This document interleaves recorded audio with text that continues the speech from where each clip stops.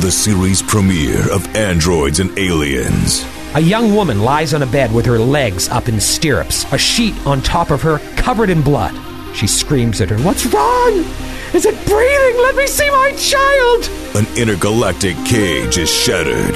She continues walking right past the guards as well until she finally reaches the surface and walks right out of the most inescapable prison in the universe. Old loves are lost. He turns to look at her.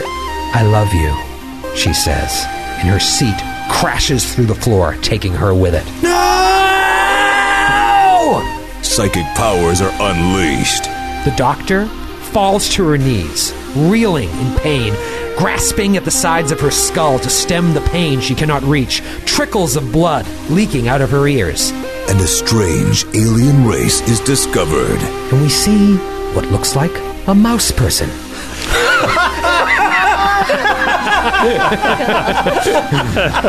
A new adventure begins. A couple of things are going to happen. Oh, yay, yay, yay! Now.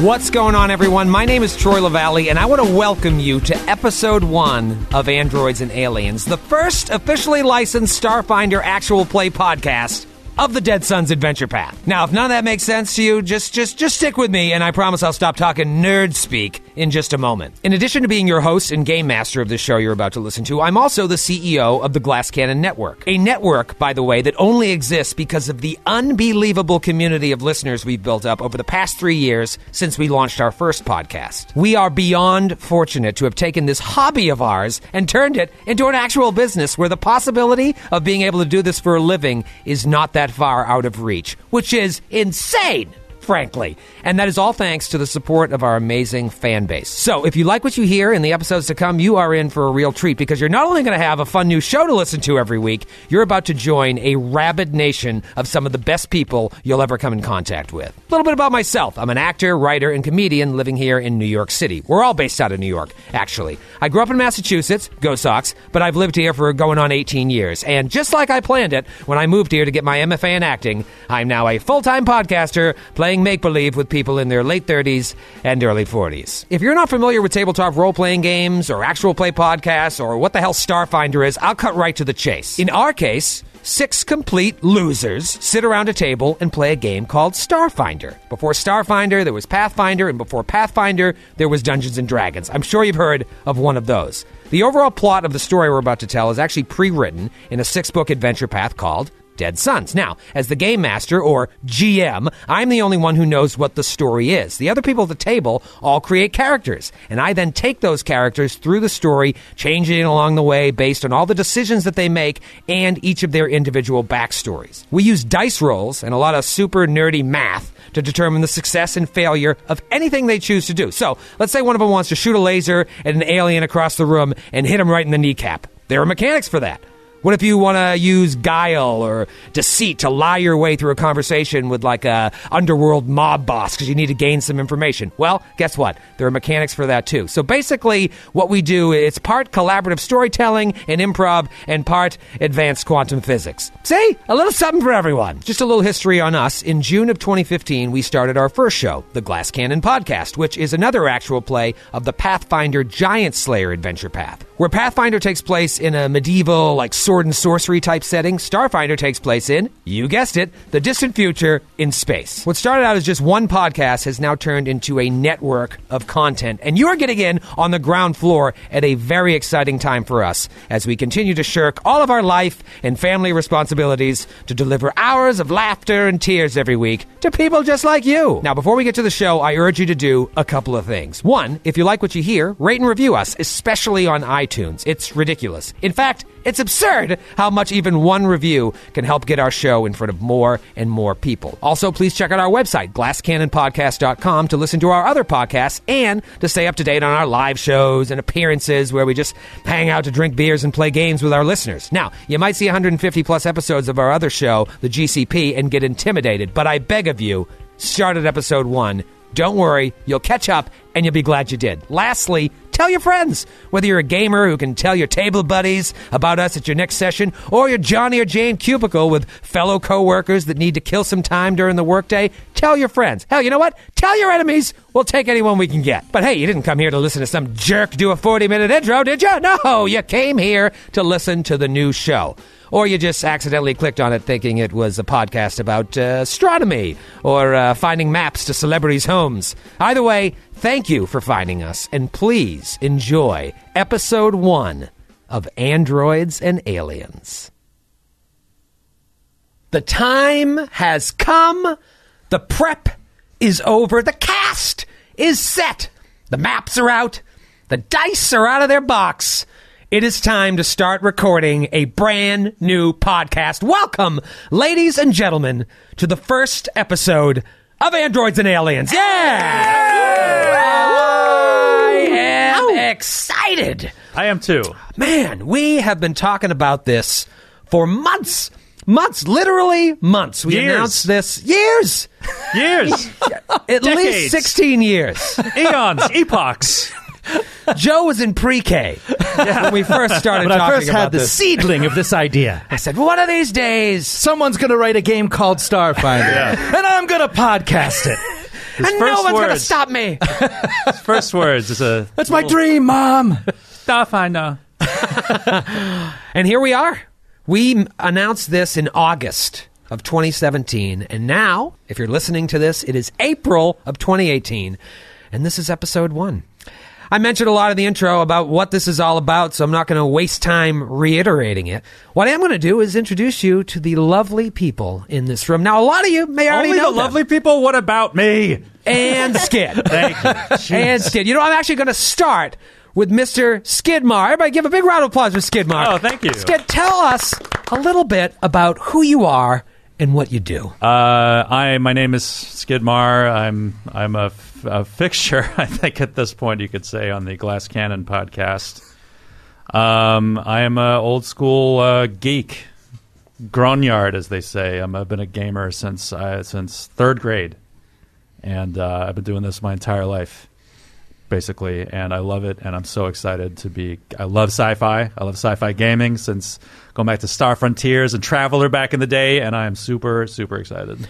Where are you from, Skid? From Denver originally. Denver. And how long you been in New York? Uh, I've been in New York for. Uh, I've been in New York for. Uh, oh God, seventeen years. 17 years. Seventeen years. Well, that's Skid, everyone. That about sums it up. That about sums up Skid. that's me. You're going to get to know and love Skid very, very soon if you don't already. Next up is my friend and yours, Mr. Grant Berger. Grant, everyone. I'm clapping for myself. I'm clapping for myself. Does that Grant, count? it's radio. You didn't have to tell them that. Grant, tell me a little bit about yourself. Where are you from? What do you do? Why are you here? I am from Dallas, Texas, currently residing in Queens, New York. I am a video producer for nonprofits, a dutiful husband, and a consummate nerd. And uh, I am just. Uh, Are you reading from a script? Yes. Um, uh, but yeah, I'm uh, been also a fixture on the Glass Cannon podcast for some time. But for those of you not listening, I'm uh, just thrilled to be taking this space venture with all of you. Yeah. well, welcome to the show. Uh, next up is the infamous. I can't believe we even got him in the room. Mr. Matthew Capodicasa. Hey. Matthew, tell Yeah. us a little bit about yourself and why did you grace us with your presence today to record this first episode? I thought we wouldn't see you until episode six or seven at least. Uh, I'll start with the harder question first. The reason I'm here is blackmail. Okay. Didn't couldn't we didn't really have a choice really. Uh, after I saw what you had, um, well, uh, yeah, I'm Matthew Capodicasa. I'm a playwright and a fiction writer, uh, and I have also been on the Glass Cannon podcast for some time now. oh, I've heard of it.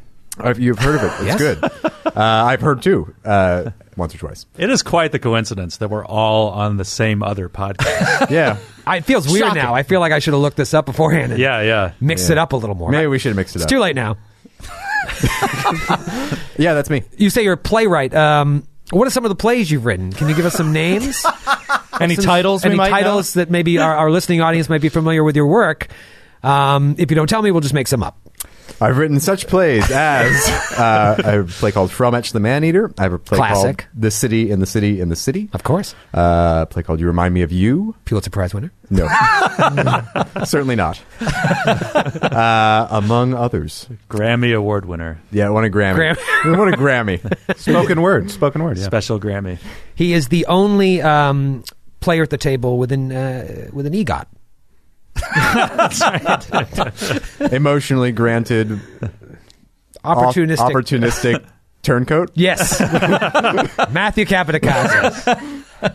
Uh, next up, take a couple steps down from Matthew, is your buddy and mine, Mr. Joe O'Brien. Hey! What's going on? Son of a gun. Where are you from? Why are you here? I wish you didn't come. Oh, thanks. I really appreciate that. really appreciate. Like most people from Philadelphia, I am much maligned uh, outside of my city. Uh, I am from Philadelphia, and I am uh, I'm a big geek like Skid. I love this kind of stuff. Also a fixture on the Glass Cannon podcast. Hey, I knew I recognized Was that you. right from the beginning? Oh my God! Couldn't place him. I got to I got to confess, I uh, I love science fiction, but I have never played science fiction role playing of any kind. Oh, you're in for a treat. and I was uh, I was you know worried and concerned about this. I didn't think that it was. I, I like to play fantasy setting RPGs, and so I've, I've never really uh, done this before. I played D and D Second Edition when I was a kid, and, and that's my, been my only real experience with RPGs is that sort of setting, that sort of style. But as over the months we have read and prepared for this, by the way, that should not uh, indicate that I am ready for this. No, no, no. Uh, but as part of that preparation, I have grown to be really, really excited about this setting and this rule system and the way everything works. And I'm really excited to see how it all plays out. And I, I honestly, I don't know very much at all about what everybody is bringing to the table in terms of characters. And for me, that's my favorite part of starting a new story, a new campaign is getting together with your friends and seeing what characters they've generated out of nothing. Oh, yeah. And then starting them on a journey together and working together to make this story. I take great pains to make sure you don't share information with each other beforehand because part of the joy, especially with early sessions, is discovering each other while also discovering a little bit about yourself. oh boy. It's already started. oh, boy. And last, but by no means least, But smallest. but smallest. well, back to back with Matthew, real quick. nope, second smallest. we have added a new member to our show. The Glass Cannon podcast is just myself, Skid, Matthew, Grant, and Joe. And for the first time ever, with our second weekly show, we have added a new player to our game. So please welcome Eleanor DiLorenzo. Yes. Eleanor, where are you from? What do you do? Why did you make this decision to hang out with us and commit to a six year game? Did I mention it takes six years to finish this? Oh, Jesus. No. Uh, She looks genuinely afraid. She really did look, look startled by that information. oh, yeah. No, uh, I guess. Um, I she guess I'll backed be slowly here for out a of the while. room. Yeah. um, no, I am Ellie, and I'm from Sweden. So I'm Oh. the I am the uh, extraterrestrial, I guess. Yeah. it is androids and aliens. Yeah, yeah, Yeah. Um, yeah. And I'm an actor in New York. I've been here for five years. I uh, been a nerd my entire life, like everyone else in this room. And um, yeah, this is going to be super exciting. Uh, I'm similar to Joe. I th- these past few months have been a lot of uh, researching Starfinder Finder and uh, figuring out what's going on with the with the uh, the world we're exploring together. So it's I'm, but I'm super excited because I uh, I'm super into sci-fi, uh, especially lately. It's there's a lot of great sci-fi shows happening right now. I I believe. Agreed. It's a hot time for the old sci fi. Yeah, Yeah. good stuff. So we Got thought. a whole network on the TV now. Yep. Oh. But they spell it real clever. Yeah, like to throw you off. Oh God. I never knew. Oh, sci- science fiction. Oh, now I see. Oh, now I get it. clever, clever girl. Well, you know, we have all been doing our research. Uh, we've all been preparing as best we can. But if you've listened to us before uh, on the Glass Cannon, you know that uh, for everything that we know really well, there is a bunch of stuff that we have no idea about and we constantly forget about. And I think Starfinder will be no different. So our plan is our to really, trademark, really. it's really our trademark. If you think we made a lot of mistakes before, oh, you're in for a real treat. Just now. you wait. Just you wait. That was a game we had been playing for four solid years before we started episode one. you still didn't know anything. this is, the, this is one we played for four solid practice sessions. and I will say, to our credit, Joe only gets minorly defensive when we mess something up. right, as you'll notice in about 15 minutes. Um, but you know, our, our goal is really to learn with you guys. When we make mistakes, call us out. Call us out on social media. Write on our website, like, up, you effed up this rule, you screwed this up, and we will learn and hopefully uh, fix it for the next couple episodes until we inevitably forget it again and make the same mistake. But here we are. Beginnings are tough. It's always hard to just jump right in. It's like an awkward situation. You got to talk about your characters and all that stuff. But really, as I've learned from doing this now for hundreds of episodes, you just got to jump right in. I sent all of you an email this morning, uh, a personal email that I'm going to read to our listeners. It says a message appeared on your personal comm unit a few days ago. Congratulations on your interest in joining the Starfinder Society. It is my distinct pleasure to help facilitate your membership into the Society if you so choose. I have made arrangements for the shuttle Okimuro to make a stop at your location on the way to Absalom Station. You will be arriving at Dock 94. Once you get in, I will help you and your fellow applicants get settled, then I'll show you around the station. Just look for a dwarf with a badge bearing the Starfinder Society insignia. That's me. Signed, Duravor Kreel. Can you spell that for us? No, I will not. D U R. D U R A V O R K R E E L. That's the last name. It's so funny to see you all take copious notes because, like, in 10 episodes, you'd be like, okay, great. But now you guys are really I know, we're all so nervous. I appreciate it. I appreciate the enthusiasm. Um, so that's the note you got. So over the past few hours or so, this ship, the Okimoro, has been picking you up. So imagine just the utter blankness of space. Complete silence. Stars. No ships, no planets. And then all of a sudden, a shuttle rolls in. That was my mouth, by the way, not a professional sound effect. Wow. That's shocking. That was real. Is this set in the Jetsons, Troy? I'll do it again. Oh, man. Pulls into frame. I've had eight months to practice. we zoom in through the window of the ship to see dozens of people, all manner of races, anxiously awaiting their journey to Absalom Station. Maybe they live there and they're returning. Maybe they're visiting there for the first time. Probably not. It's kind of an important place. But either way, they're going there for specific reasons. And the five of you in particular are going there for very specific reasons. Imagine a camera like coming up the aisle of this ship. I picture it like a really fancy Greyhound bus. You know, like two rows of seat on either side. A futuristic An airplane, Greyhound maybe. bus. Like an airplane. No, no, no. Greyhound bus. Definitely not an airplane. like a kind of Grant, flying. you're being, I mean, Skid, you're being ridiculous. imagine a flying bus. Air, wait, is it like an Airbus, maybe? no, no, no, no, no. Just a bus. And the camera's just zooming up these rows of seats. And we close in on an older woman. Eleanor, what does this character look like? She looks like um, she's very well put together. Gray hair, gray short hair, blue eyes, stocky built, and um, she's wearing uh, a very, a very nice but common flight suit currently, and she is, she has no particular emotion in her face. About how old is she? Fifty-seven. 57. Hmm. What is this woman's name? Her name is MacCullen Donovan. McCullen Donovan. Mac to her friends. Yes. Mac. And if there was an actress that played her, who would that actress be? I've cast her as Judi Dench. Oh, oh. Dame. The dame Judi. herself. Yes. That is quite a get for our show. yeah, Man. Right off the bat. Our right. first dame. A-lister. Yeah. and our last. When word of our show gets out.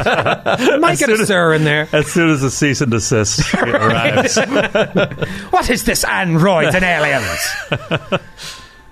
so she's sitting there with no discernible expression on her face. And this camera zooms in on her eyes. Imagine as if you're watching this like a film. You see, yet again, the outside of a spaceship in orbit. Stars stretching in every direction as far as the eye can see, but no planets, and all you hear is nothingness. The vacuum of space. A ship comes into view, and we close in on it up to a window in the rear. The second we pass through the window into the interior of the ship, the silence is immediately broken by a frantic scene. A young woman lies on a bed with her legs up in stirrups, a sheet on top of her covered in blood. There is a droid next to her that is only torso, arms, and head, trying its best to tend to her, but she's screaming in pain for her mother to help. A younger McCullen Donovan, a younger Mac, rushes into the room with a panicked look on her face. She looks down to her left, and there's a man dead on the floor of the ship, his arm missing up to the elbow. Mac is clearly out of her league here, but doesn't want to let her daughter know because now she has to deliver this baby. After an intense and long labor, the child finally arrives. The relief in Mac's eyes, though, only lasts a moment because something seems very wrong, and the daughter can immediately read it on her mother's face. She screams at her, What's wrong? Is it breathing? Let me see my child! Mac rushes out of the room with the child into another room. She sets it down and begins just washing the child off. As the afterbirth falls away, Max sees that the infant is covered in scales, along with other anomalies like a tail and bumps along the spine. Mac just stares in shock at this disfigured infant as a scan runs over its body. The onboard AI says something that she doesn't even hear as a hypodermic needle appears out of a column next to the scanner. The baby clearly needs whatever serum is in this needle to survive. Mac hovers over the infant, needle in hand, and just watches in horror for what seems like an eternity before dropping the needle to the floor and walking out of the room to the sounds of her daughter's muffled screams echoing down the hall. Oh, shit. Oh. wow. Blackout. Oh, damn. We continue looking at these people on the shuttle Okimoro, and we see what looks like a mouse person.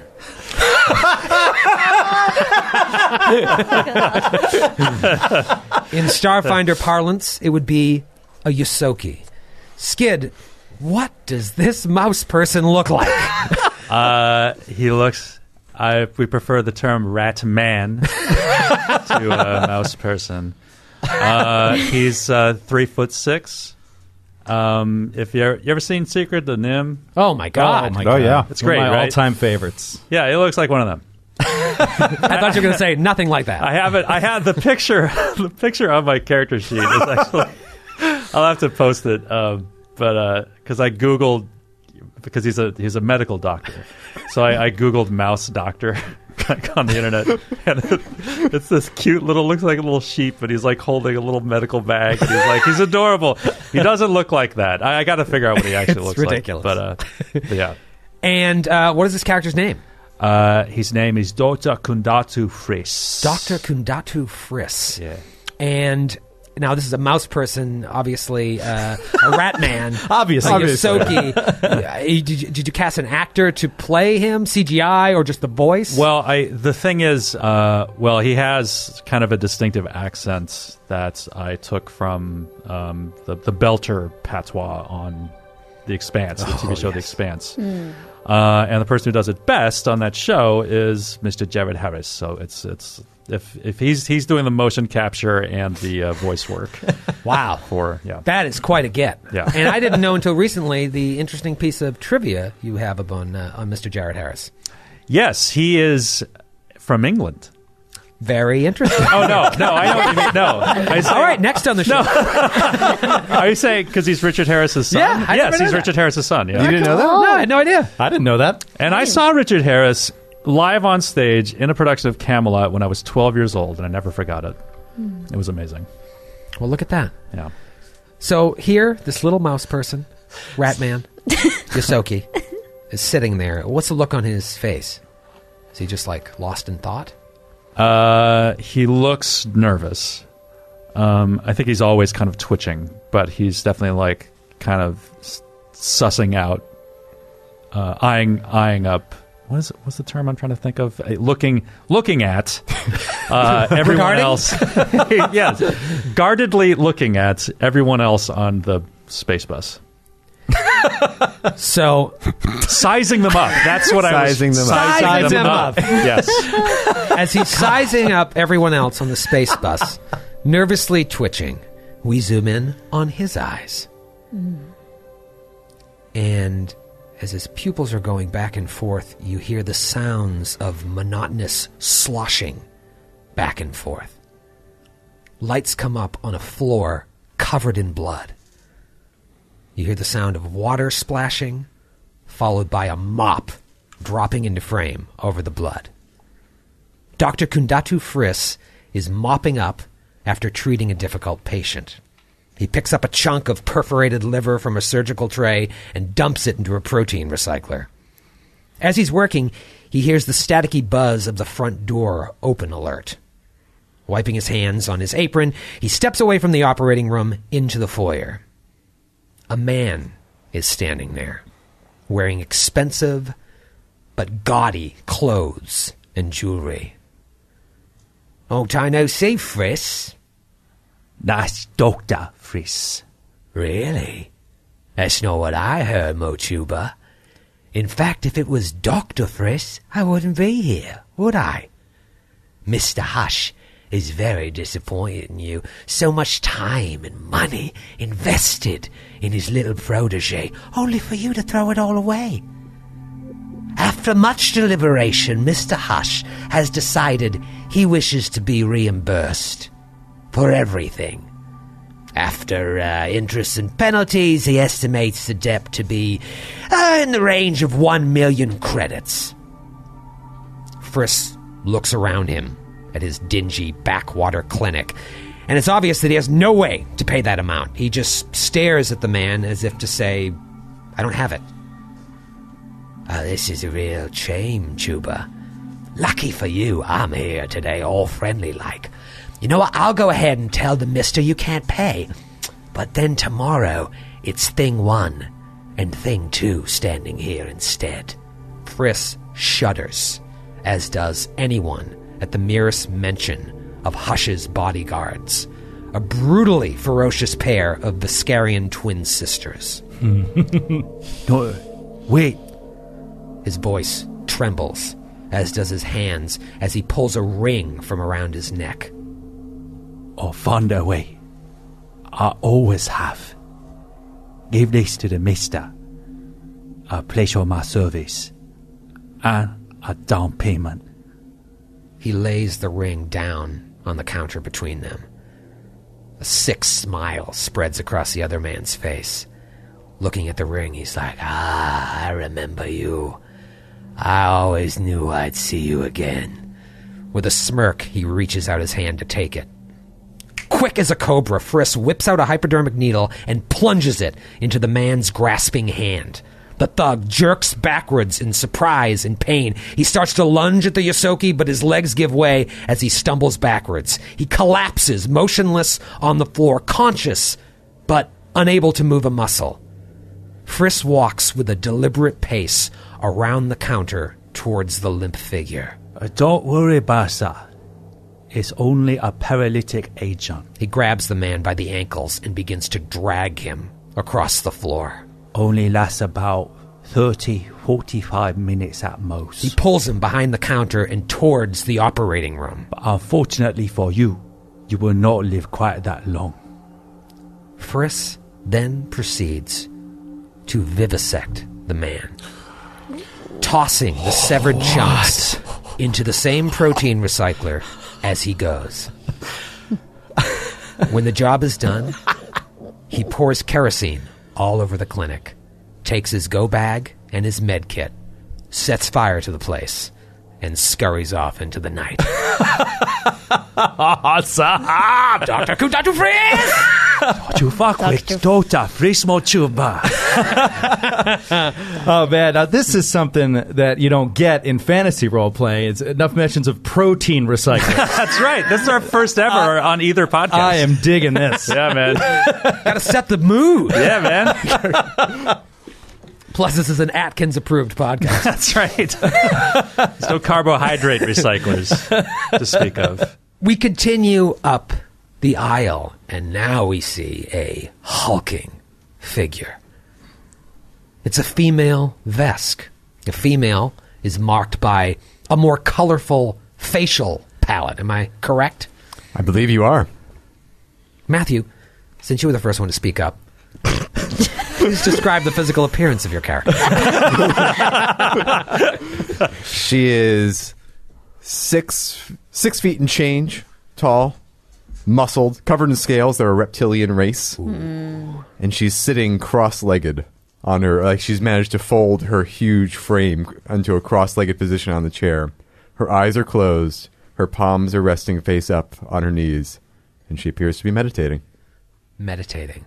This is a Vesk. If you're new to Starfinder, the Vesk are, how would you best explain them? They're just reptile people, right? They're a warlike race, Warlike race. and they're they were at war with the Pact Worlds until they, relatively recently, right. signed the Pact. And the Pact worlds refer to like basically society at large. If you've read any uh, science fiction book, it's like the Commonwealth, The Federation. the Federation. Yeah. It's like everyone that's agreed to a certain treaty. Well, for a while, the Vesk planet was against it, but now they're part of the Pact. Tenuous though it may be. And what's the character's name? Her name is Krez Kaletha. Ooh, The like it. The unnamed. a little nickname in there, maybe Krezka for short. to her friends. Who are those? Mac. maybe, maybe. Hey, high five on the show. All right. Without- Nicknames. She doesn't open her eyes. She just offers a high five. Nickname buddies. Judi Dench, the no look high five. Easy to picture. Now this is a t- another tough one to cast because we're gonna have to use some CGI. Obviously, Mocap CGI. we have the we have it in the budget. Um, so who did we cast in this? uh, Priyanka Chopra. Oh, you son of a gun! Who's that? Uh, she is on Quantico, which probably would be you're most familiar with her. Uh, most familiar with. Um, Oh, wow. Oh, she is Okay. beautiful. She is a. She is way too attractive to hanging out with us. nerd. she's an she's an Indian actress, yes, but she has recently jumped the pond Priyanka Chopra to join our podcast. to join our podcast. well, really, to record to like suit up in those little motion capture sensors and do that. I haven't looked at her IMDb profile, but I'm going to say it's the best career move she's ever made. well, let's take a zoom in on Krez Kaletha, the unnamed.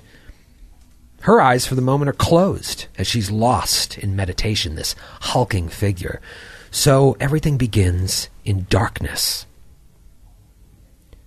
You hear the sound of whizzing and whirring electronics busily working to control whatever machine is making these noises.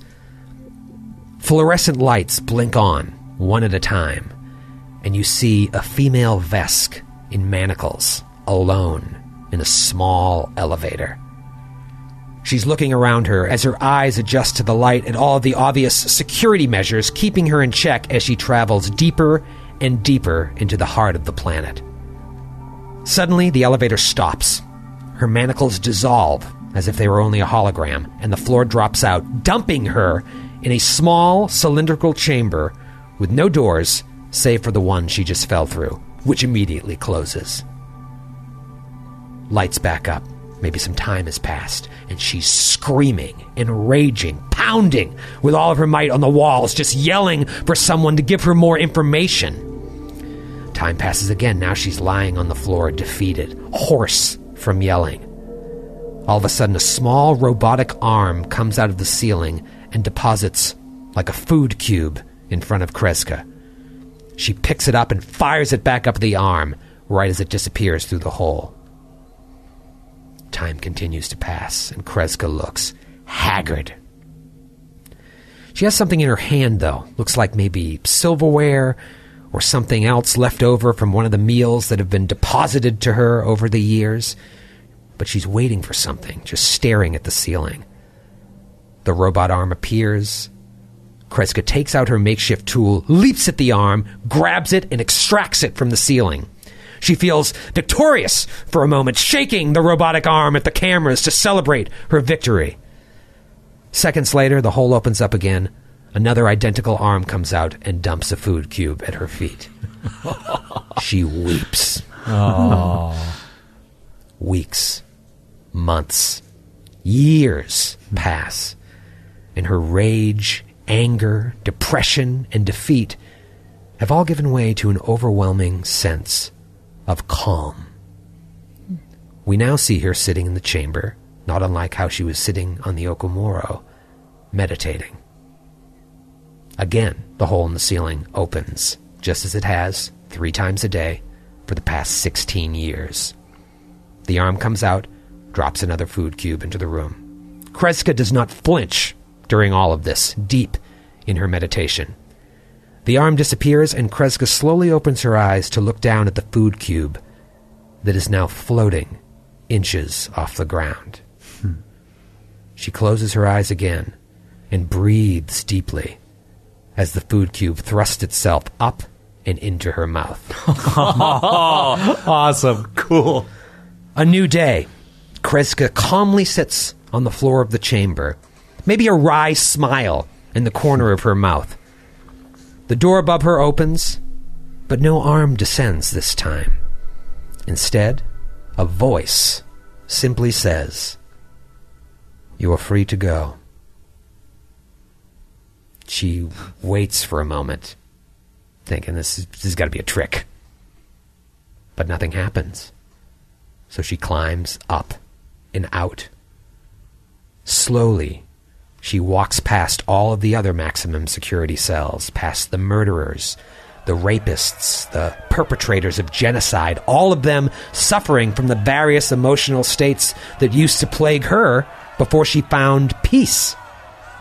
She continues walking right past the guards as well until she finally reaches the surface and walks right out of the most inescapable prison in the universe. Kreska! wow! Awesome! A guitar riff comes in. we will be arriving at Dock 94 shortly. A voice comes over the intercom. All of you sitting there amongst all the other people on this shuttle, just anxiously awaiting this next phase of your life. Maybe you're going to join the Starfinder Society, or maybe you're here for other reasons altogether. We see a young girl sitting. How is she sitting, Grant? Well, if you've ever taken public transit late at night and um, when the train's not quite full and you see a woman by herself, she's kind of guarded. She has her posture closed off to the rest of the room. And she has a bit of a shawl around her head. It's kind of in a hoodie situation because she's trying to hide her otherworldly beauty and nature.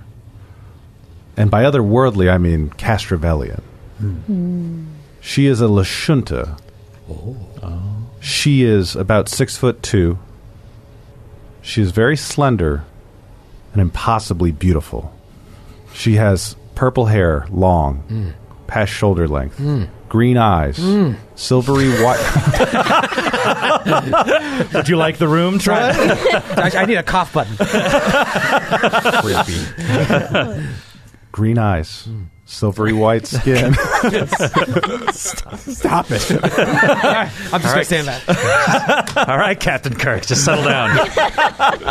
silvery white skin that shines a little bit, uh, and black spots trailing from her eyes down the side of her face.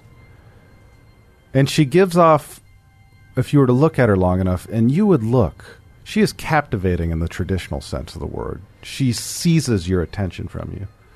She gives you an unnerving feeling as you stare at her, like something's unsettled with her. You mentioned she's a Lashunta.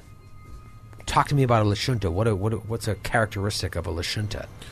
Lashuntas have all of them, regardless of their subspecies, which is something we'll get into at a later date, I'm sure. Uh, antennae growing out of their head. Ah. They are psychically gifted.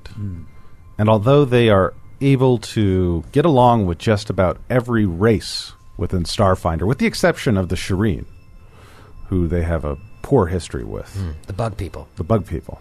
Um, they are often mistrusted because everyone is wondering if they're delving into their thoughts as they are around them. What is this young lady's name? Her name is Mei Shun Vanya. Oh, I like that. and who is the actress that you cast? Who did we get?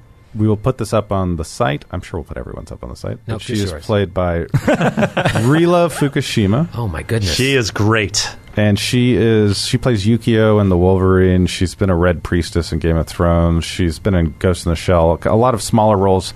Um, her primary language is Japanese, so it's difficult for her to get cast sometimes. We can get her a translator for the show. uh, so as she's sitting there, giving off this uh, sort of intimidating air to others that may glance her way? We go into her thoughts, into her memories, deep into her memories.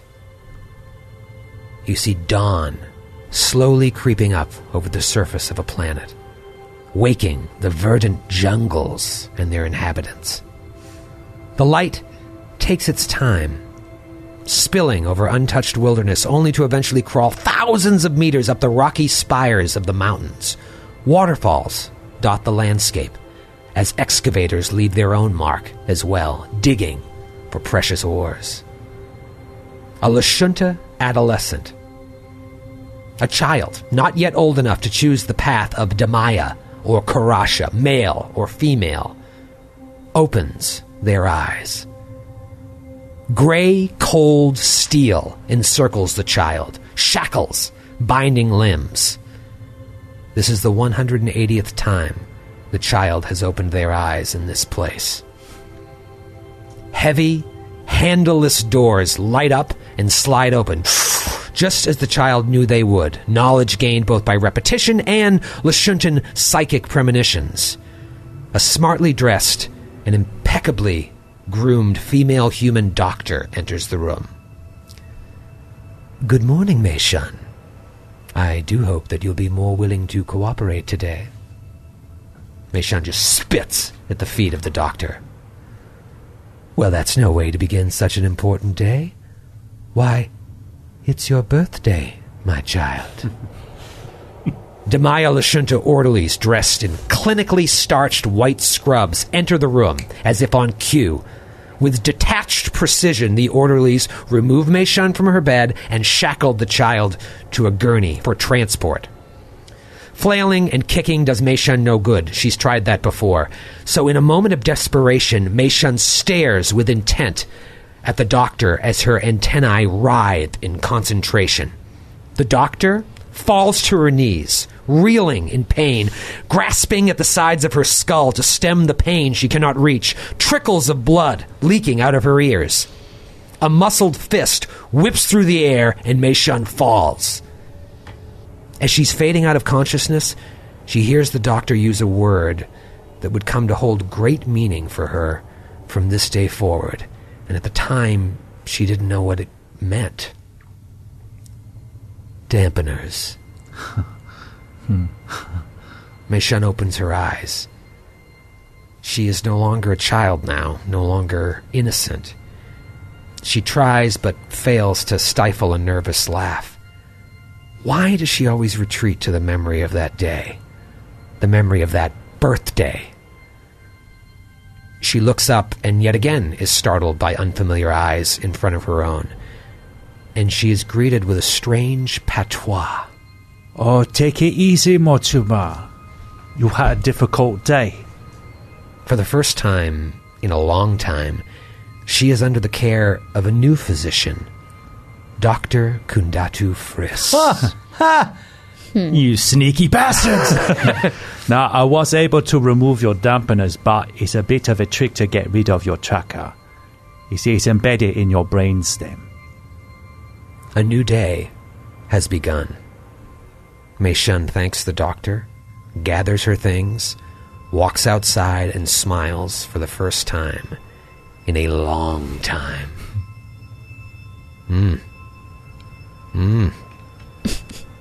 Mmm. I was doing a callback to when I was doing the mmm.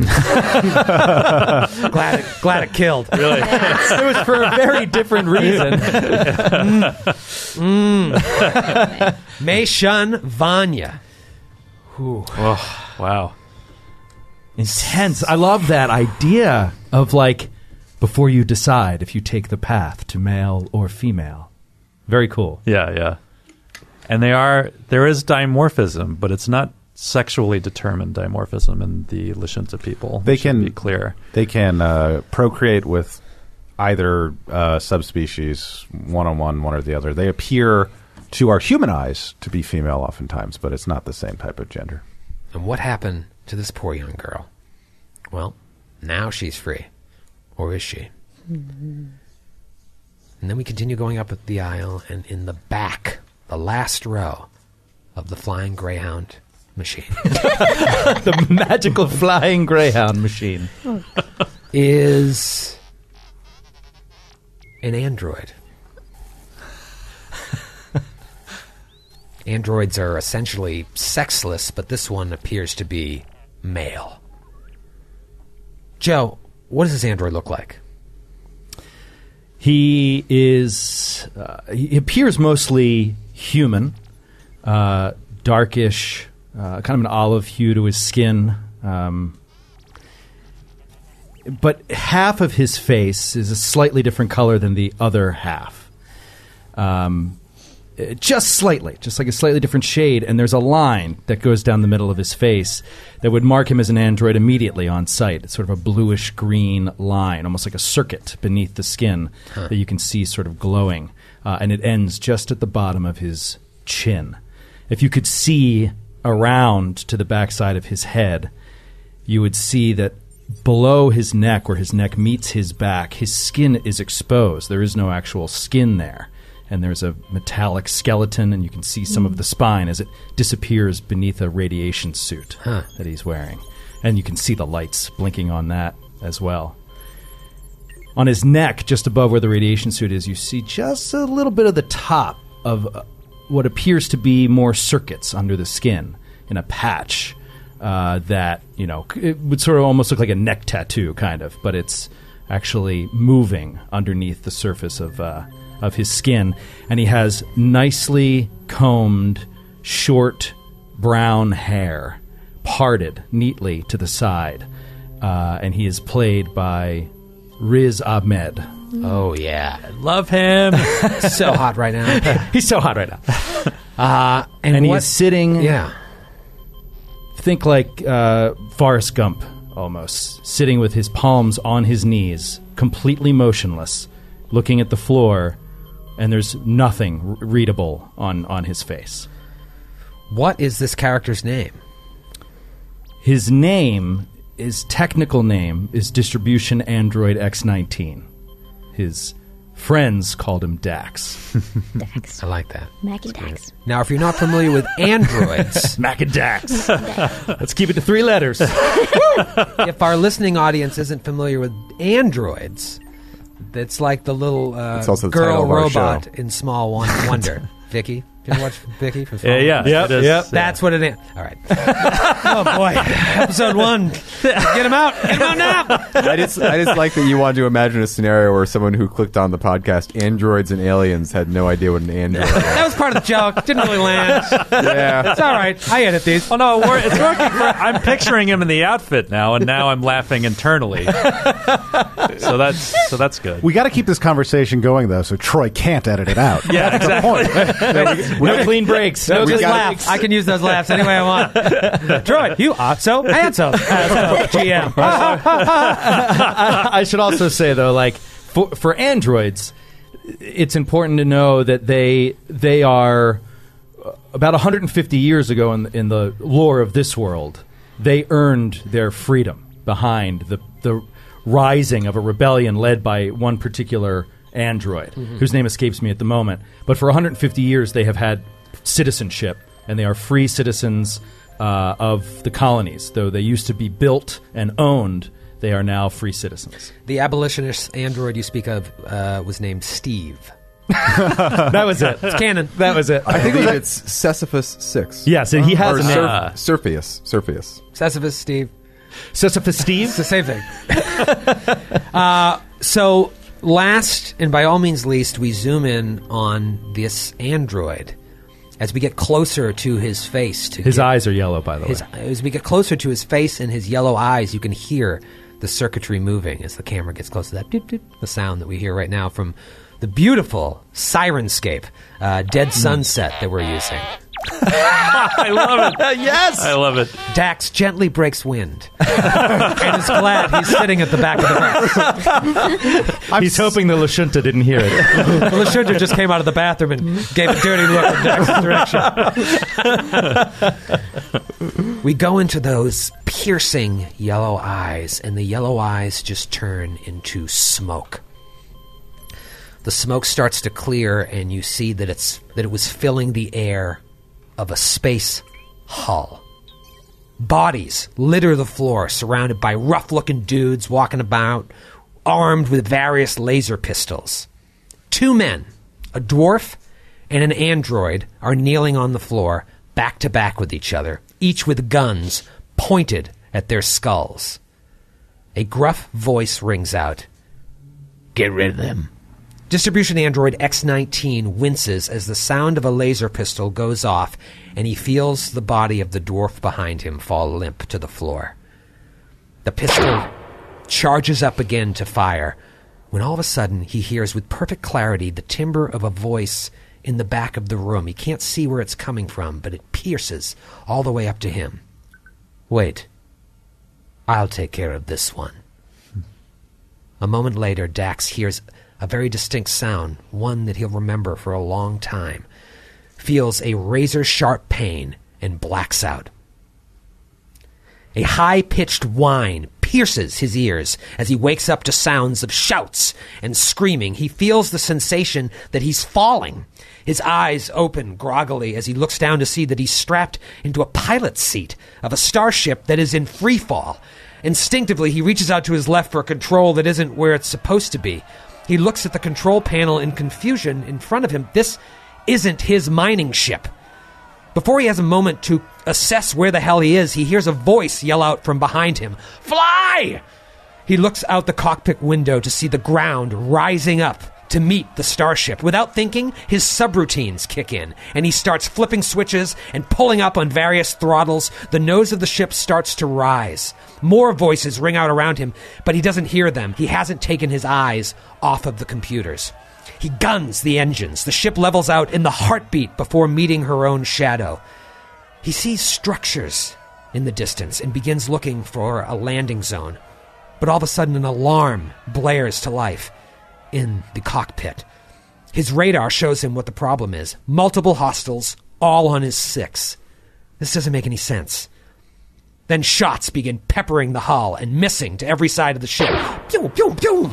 After dodging and flying at speeds he's never even attempted, the structures on the horizon come into view. But what at first looked like a bustling metropolis is just the remnants of a city. Husks of skyscrapers line the horizon, while below, nature reclaims streets and apartment complexes with shrubs growing up from cracks in the pavement.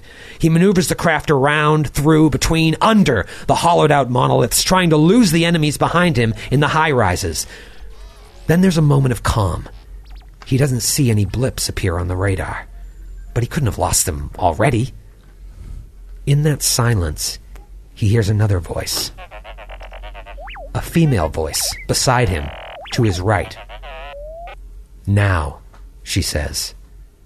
He turns to look at her, and it's as if his data is corrupted, so he only sees a body with a blurred out face, like a computer glitch. Maybe it's a Lashunta woman? I love you, she says. And her seat crashes through the floor, taking her with it. no! Dax wakes up again. But this time he's in a hospital room. Walls painted eggshell white, and dozens of monitors surrounding him. X19, can you hear me? A human voice asks. I can. He seems to be fully awake now. The man says to two women and another man in the room. X19, please tell us exactly what happened out there with regards to shipment 9845B. We were boarded by pirates. There were two, at least, possibly four. The co pilot was killed. I was targeted, but a voice said, Wait. Then I was falling. A woman, perhaps a scream, could have been the hull. The wind blowing through the hull. I'm sorry, it is. My data appears corrupted. There was a city, though. A dead one. Hollowed out buildings, perhaps a nuclear explosion. More details are hard to grasp at the moment. So strange, I've never heard a case of one of the X series fabricating lies to cover up insubordination. Would he have done it to protect his crew, perhaps? Well, they still haven't resurfaced. That doesn't seem likely. Well, we will have to let the director know immediately, for sure, but no matter. Uh, X19, uh, there seems to be some malfunctioning, as you say, with your ability to access your own memory units. Shall I run a diagnostic? No, no, that won't be necessary. Um, you see, there were no pirates or women or hollowed out buildings, as you say, and as far as we know, your co pilot and the rest of your crew are fine. I'm sorry, sir. With all respect, that is incorrect. There were pirates. Look here, X19.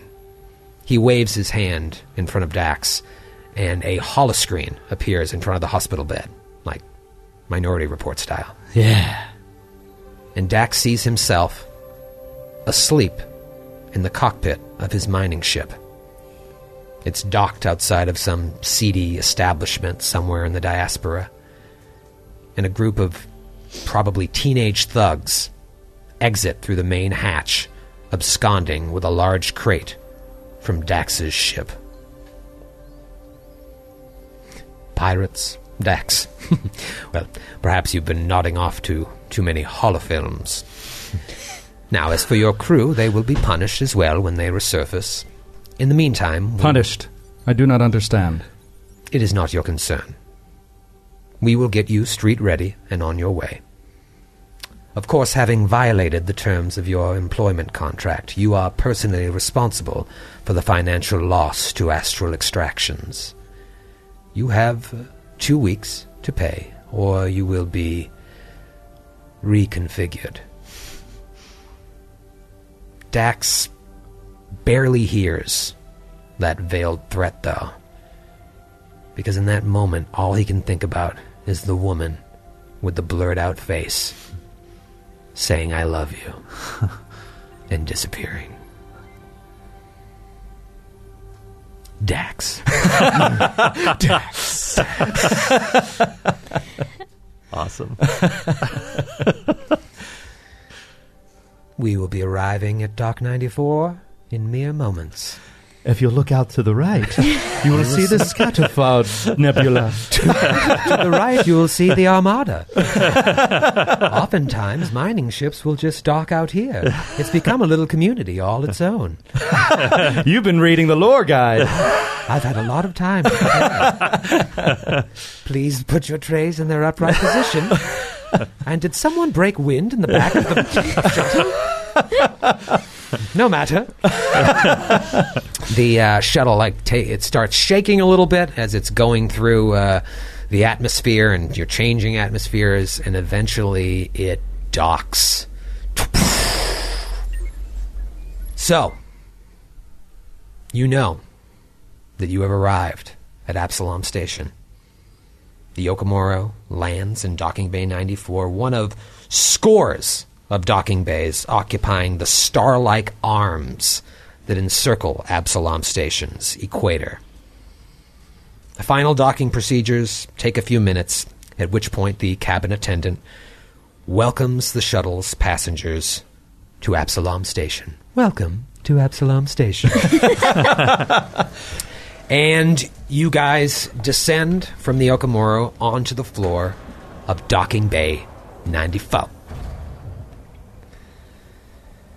The brightly lit docks of Absalom Station. oh, it's happening. so the brightly lit docks of Absalom Station are abuzz with activity as travelers bustle by. Remember, you weren't the only ones on this shuttle. People are either preparing to board or disembarking from other starships on this dock, bound to or from any dozens of worlds out there, Pact Worlds or maybe other. You see brash and swaggering star pilots, scurrying Ysoki mechanics, and expectant colonists, all mingling with enigmatic Kasatha mystics. Kasatha, we'll learn about them later. Long heads and forearms is all you need to know. Hard faced asteroid miners, imposing Vesk mercenaries, and more, creating a microcosm of the abundance and variety of life in the Pact Worlds. New arrivals meet friends, loved ones, or business contacts.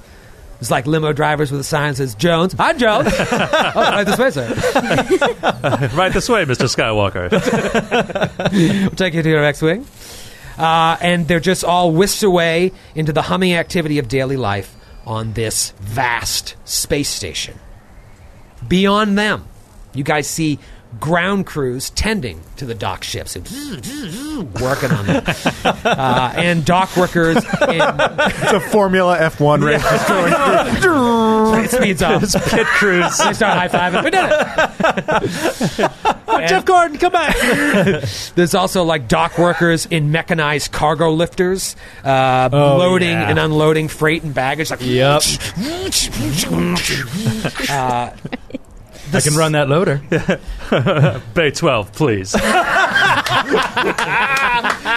Oh man, we, we, we did aliens references on our fantasy. I know. You think Imagine you're in, that. for a lot more, I think, in this one. Future trivia questions. uh, as opposed to the smell inside the Okamura, which had this very, uh, although fake but nice, welcoming smell. Um, right What when does you that smell like? That new bus smell. yeah, that we're new talking bus smell, Like a Greyhound smell? like Greyhound smell. Yes. We all know. you get you get off the Okamura and there's this sharp tang of like ozone hanging in the air, a byproduct of the electrical discharges from the dock ships. But underneath, the whole station itself has this sort of like used aroma. You know what I mean? Hmm. Underneath you, the docking bay's deck plates thrum beneath your feet. Though whether it's from the passage of innumerable feet going back and forth or the vibrations of the station's power conduits and air recycling systems, it's impossible to say.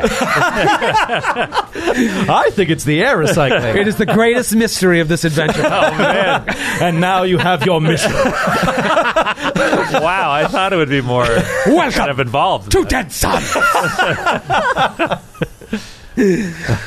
oh boy! Everybody roll a perception check. Oh, first roll. First Oh, this is going to say a lot about gonna this say adventure. everything you need to I see know. double digits on Grant's die. Shocking. Not a surprise. Natural 20. Math, math, math, Matthew, math, math, math, math, Matthew. It's all downhill from here. Skid, what'd you get, buddy? 13. 13 for Skid. 13. Matthew got the natty Twunzo. 27. Okay, Grant. 13 for mission. Oh. Oh, 13 from his shun. And Dax, Six. six. That's about Yep. right. That's about right. And what about Mac? 21. Oh, oh wow. return of the Mac. Return of the Mac. Um, okay. A couple of things are going to happen. Oh, yay, yay, yay. I love it when things happen. All of you, even Dax, who I don't know what you were busy focusing on. DC 5. DC 5. yeah. You see a dwarf. oh. On the other side of the docking bay. He's rather tall and lanky for a dwarf, though. He's got a bristly iron gray beard and deep set eyes beneath bushy eyebrows. With his patched and stained coveralls, he just looks like another dock worker, but a badge bearing the symbol of the Starfinder Society stands out on his chest, just like he said it would. you see Duravor Kreel, played by Robert Duvall. Oh. Speaking of pit crews. Another, Wow. A- another A-lister. Yeah. He's like he's holding his personal computer and he's looking it up to like scan the crowd. He sees you guys and raises a hand, uh, like a gesture and a greeting, a friendly smile, like "Oh, ho, ho, hello." However, while Dax and Mei Shun and Doctor Friss only really see Duravor Kreel waving to them, as does Kreska and Mac. Kreska and Mac, your eyes start to wander to the rest of the dock. Now, there's a lot of stuff going on, but you both see what appears to be two very distinct groups of people on the fringes of the docking bay, furtively taking up defense positions Oh. among stacks of cargo crates and machinery. Duravor Kreel raises his hands up to wave to you, and it's just like slow motion as all of a sudden the air is filled with laser blasts. Oh, jeez. What? Bystanders scream and flee in terror, diving for cover or milling about frantically. If it was just one laser blast. Everyone calm down. Kreel himself freezes, paralyzed with fear, and then falls to the floor with a sound and does not move. Oh, shit. Oh, and we will see you next week. Oh,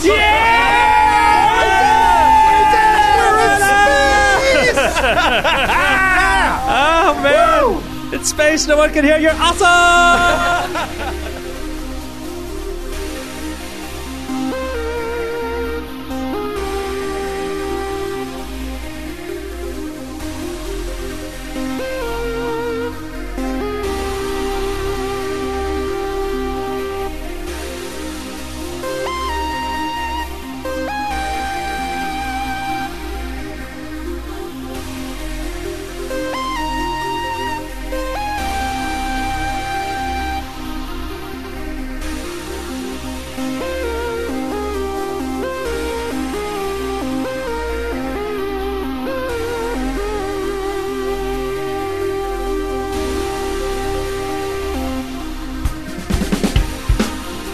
Androids and Aliens is a Glass Cannon Network production and is an officially licensed partner of Paizo Incorporated. Dead Suns is copyright 2017. Dead Suns and the Starfinder Adventure Path are trademarks of Paizo. All Starfinder images are property of Paizo and are used with permission.